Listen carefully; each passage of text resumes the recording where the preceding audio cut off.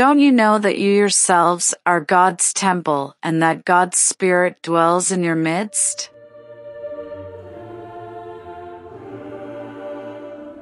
Be careful, however, that the exercise of your rights does not become a stumbling block to the weak.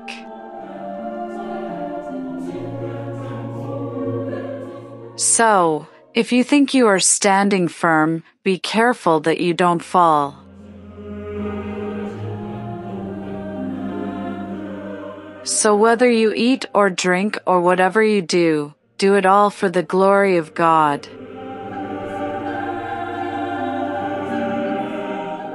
For as woman came from man, so also man is born of woman. But everything comes from God. There are different kinds of gifts, but the same Spirit distributes them.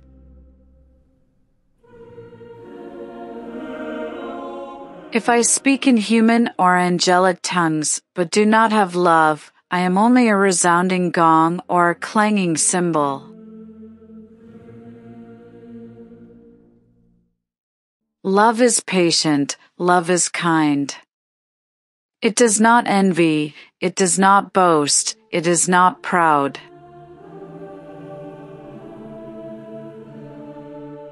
Follow the way of love and eagerly desire spiritual gifts, especially the gift of prophecy.